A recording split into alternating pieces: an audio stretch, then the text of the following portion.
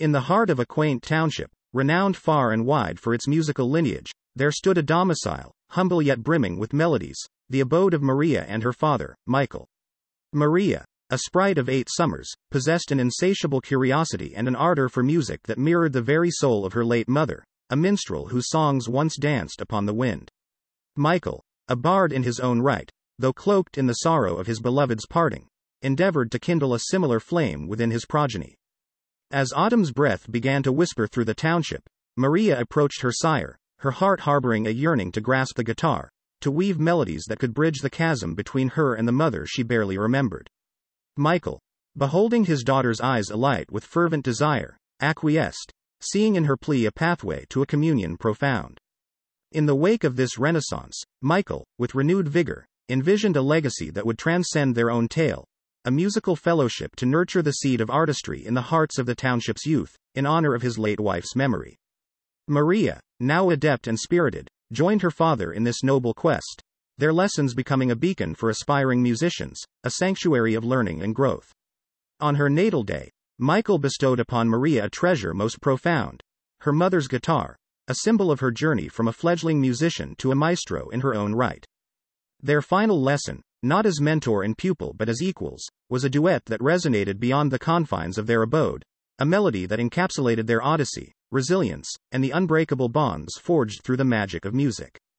Looking to the future, with Michael's health restored, they orchestrated a concert to celebrate the talent and unity of their community, their special song serving as the zenith of the evening, a local anthem of love, resilience, and the power of coming together. Years flowed like the melodies they once conjured, and Maria, now a beacon of musical artistry, returned to her roots, guitar in hand.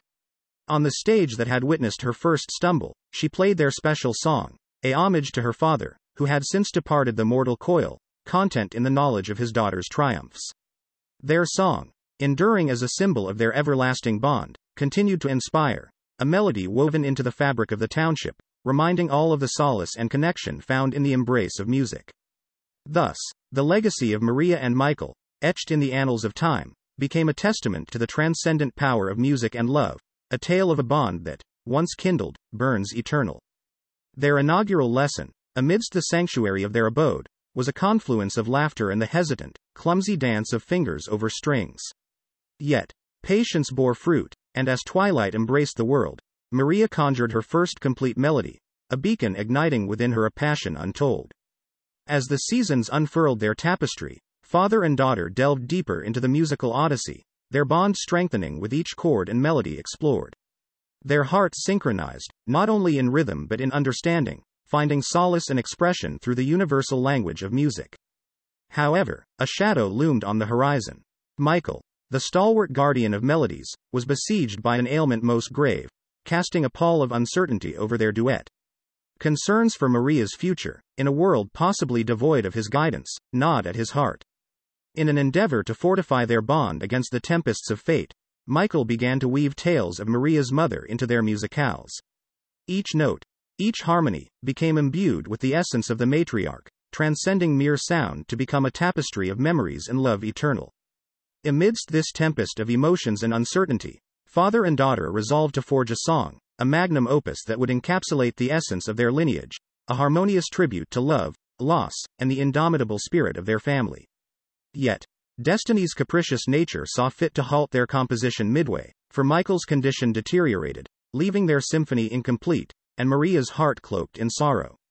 Yet, from the ashes of despair, Maria's determination arose like a phoenix. Secretly, she honed her craft, her fingers dancing upon the strings with a resolve that mirrored her father's resilience. The melodies they had shared became her solace, her beacon through the tempest. The community, moved by the tales of their bond and Michael's plight, rallied as a harmonious chorus, offering succor and support. It was within this bastion of love that Maria unveiled the fruit of her secret toil. A rendition of their special song, Now Whole, a testament to the depths of her love and the bonds forged through music. This performance, transcending mere sound, touched the very essence of Michael's spirit, igniting a spark of hope and a miraculous resurgence from the grip of his malady. It was a testament to the healing power of music, a balm for the soul.